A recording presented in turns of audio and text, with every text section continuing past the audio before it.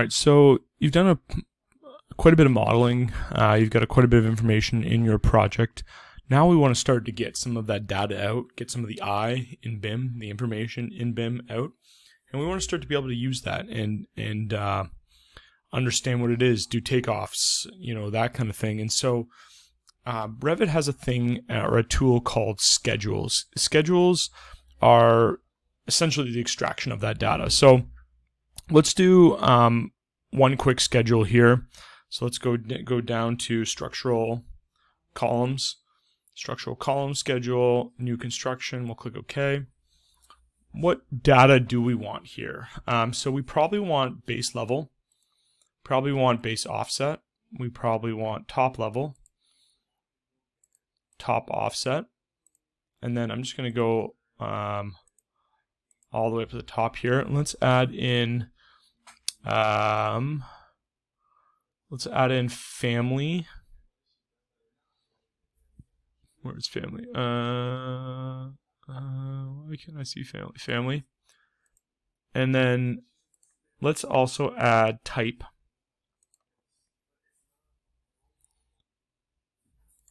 Um, let's add type, uh, let's add comments. Comments, we'll move, maybe move that to the end. Um, let's add, um, we could add weight. Let's see what that does. Let's add length. Um, so we have uh, some decent pieces of data here. There's certainly more that you could bring in, um, but let's start with those. Let's click OK.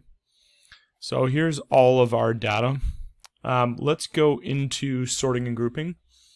And we want to sort by family, then by type, then by length. And what that's going to do is now we can actually turn off itemize every instance. And it's going to start to count, which we should actually add two more. We're going to add uh, count So let's move, here's another little trick too. We can click that and go down, move count up to the top, and then let's grab count. Um, weight didn't seem to do a whole lot. Let's grab level. Uh, do we have level? I guess base level. Yeah, so maybe let's go back to sorting and grouping.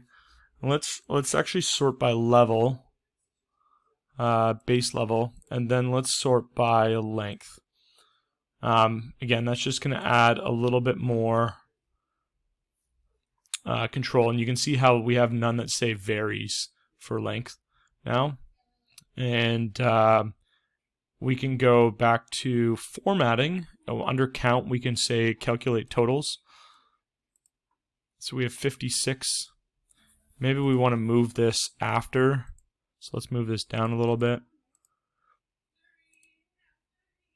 So we have concrete regular columns, we have wide flange columns, and those are the amount, uh, those are the length. Um, they start here and end here. And so that starts to get us some information of what we need and and um, we can also do some more specific filtering. So every family, we could add a type and a footer. We could do calculate totals. We could also go length, um, calculate totals. And so now it's going to give us how much length we have, and I think I did weight. Um, how much, yeah, I did, I did do weight. How much length we have. So we have basically 491 feet of the W12 by 40. And maybe what we could do, which is not really too important for this, um, is we could then sort by type and have a header for that as well. And um, maybe we'll add a blank line between those. And so now if we were to have, you know, a different size beam, it'll then filter out. A um, couple other things I like to do graphically, but um, they're a little bit hard to see here. So let's actually drag this column schedule to a sheet.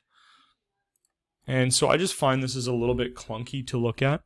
So what I'd like to do is a couple things. So let's go back into here. I like to grab the title. Um, I like to go to borders and I like to turn off uh, all of them and then we'll add wide lines on the bottom here. Um, and that way there's no title on the top. Um, I also like to go to font here for the title and we'll leave the title at 1 8 um, but I'll make it bold. And then the other thing I like to do is left align it. And what I also do is resize the height because the height is a little bit tall. Let's bring it down one so it's a little bit better. So now that starts to look a little bit neater. Um, I also like to turn off the border at the top. So let's go to appearance and let's go to turn off grid lines. And then I also like to stripe rows. Stripe second row. Yeah. And let's add just a bit of a gray. And that way, you know, it's again just a little bit cleaner. Then the last thing would be left aligning all of the text for all of these categories. And so I just, I think that starts to look a little bit better, um, or at least looks cleaner. And um, yeah, we can go back into appearance and do more. Um, maybe show stripe rows on sheets. Maybe we don't want right. Maybe we want an outline, thin line around. Um, yeah, let's see. That looks like. Yeah, so maybe we want to border around. Um, yeah, you can play with that a little bit, but I think that starts to to clean it up. Maybe we don't like how dark the stripe is. Maybe we'll take the stripe down to a little bit more of a lighter color. I find the stripe rows definitely really helps to actually see the schedule. Um, I personally don't like the borders, um, just my opinion, so I usually turn off the border and I just do a, a line underneath this one do a wide line. And it doesn't look like it actually is showing.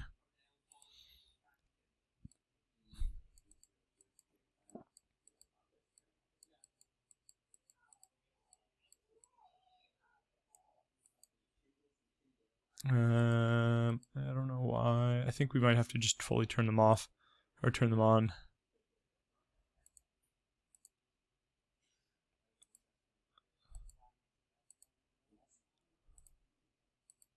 see if that turns it on.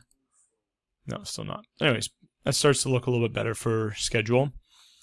Um, so one other type of schedule I think is really cool to do, um, especially for, from a installation perspective, is a graphical column schedule. So this starts to show the heights of all the columns, and it's obviously you saw how quickly I set that up. So I just went to schedules and quantities, graphical column schedule, and then I changed the view down here to be fine.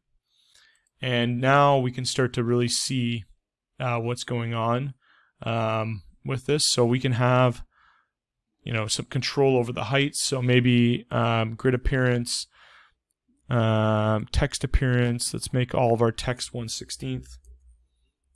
Uh, so title text, maybe we'll keep our title text 1 8th bold. And then everything else is 1 16th. And so that looks a little bit better. And yeah, so there's there's some more control over here.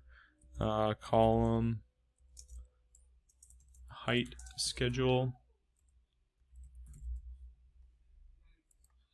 Um, so we've got a title, and then we can drag that onto a sheet, and that actually shows up up here. So it looks like that. And if we don't want uh, a title on that one, we could just turn off the title. Uh, but that's just another schedule you can create. So column schedules, um, structural framing schedules. Uh, you can do footing schedules. Um, so there's a whole bunch of different types of schedules you can work on.